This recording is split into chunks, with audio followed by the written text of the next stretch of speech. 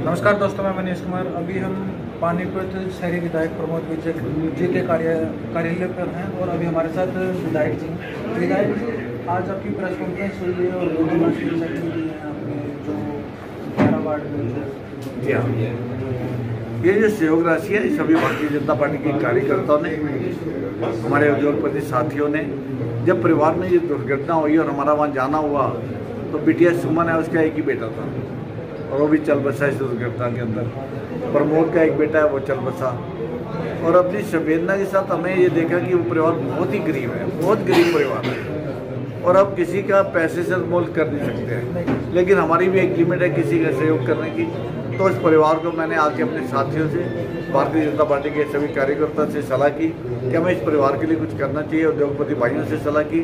और सबने एक मत से कह दिया कि हमें दो दो लाख रुपये दोनों परिवारों को ज़रूर देना चाहिए और तुरंत सबने छोटी छोटी धनराशि इकट्ठी करके ये चार लाख रुपये भेज दिया। मैं सबका बहुत बहुत धन्यवाद करता हूँ, समाज का धन्यवाद करता हूँ, भारतीय जनता पार्टी के कार्यकर्ता का धन्यवाद करता हूँ कि आज हमने उनकी बदौलत इस परिवार को कुछ मदद करने की जो कोशिश की थी, वो पूरी कर विधायक जी, कल आप नगर निगम में गए थे और अभी आप प्रेस कॉन्फ्रेंस आज भी आप जिन लोगों की लापरवाही सामने नज़र आ रही है क्या उन पर ठोस कार्रवाई होगी?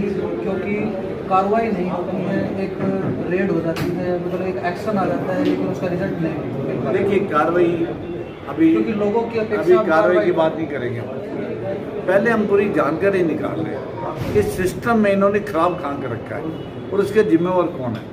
और जब ये आइडेंटिफाई कर लेंगे और मैं ज़्यादा समय नहीं एक हफ़्ते के अंदर अंदर मैं लगातार निगम में तीन या चार बार जाऊँगा और मैं मेरे पास कोई ना कोई एक्सपर्ट आईटी सेक्टर का भी होगा। क्योंकि कई चीज़ों की जानकारी हमें जब ये जॉब देते हैं हमें पता नहीं चलता। तो मैं इसकी जानकारी पूरी निकाल के और फिर मैं माननीय मंत्री जी से और माननीय मुख्यमंत्री से बात करके इसमें समाधान करूँगा। भविष्य में भी ऐसी रेड होंगी? ज़रूर होगी। जब जो जनता बहुत परेशान थी पानीपत की और बहुत शिकायतें आ रही थी हमारे पास तो हर जगह हमारे माननीय मंत्री जी अनिल बीच जी नहीं जा सकते हैं। अपने स्वास्थ्य को देखते उसके बाद जो दिन रात काम कर रहे हैं। आज जैसे सुबह धरना दिया गया बीजेपी पार्टी का जिला उधर से कांग्रेस पार्टी ने भी और उस धरने के साथ पंजाब के मुख्यमंत्री उनका इस्तीफा मांग लिया गया कांग्रेस पार्टी के हाईकमान ने धर्मेंद्र का इस्तीफा देना बिल्कुल बनता था।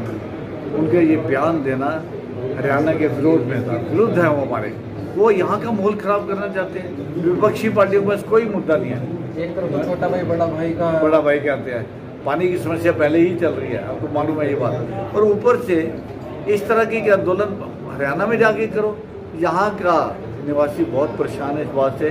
आने जाने के रास्ते, अराजकवादी लोगों ने और विपक्षी पार्टियों ने रोके हुए हैं। किसान ने नहीं रोके, किसान तो नाम मात्र के बैठे हुए उसमें। किसान हमारा अन्नदाता है, उसकी समस्या अपनी जगह होगी और वो अपनी बात रखने का हकदार है। अगर किसान भाई अपनी बात रखते हैं तो सरकार उसको सुनेगी। लेकिन जिस तरह से रास्ते रोक दिए गए, ये बिल्कुल उचित नहीं है। इसी के विरोध में आज हमने अरविंदर के बयान के विरोध में हमने सुबह धरना दिया था, जिसमें भारतीय जनता पार्टी के डिस्ट्रिक्ट के हज़ारों कार्यकर्ता आपने देखा होगा, वीडियो बनाई है, शामिल हुए थे। और ये बिल्कुल उचित है, उसे डिज़ाइन कर दिया, बहुत अच्छी बात है। धन्यवाद। तो जैसे भी हमारे साथ विधायक, शहरी विधायक जी, वो हमारे साथ थे पल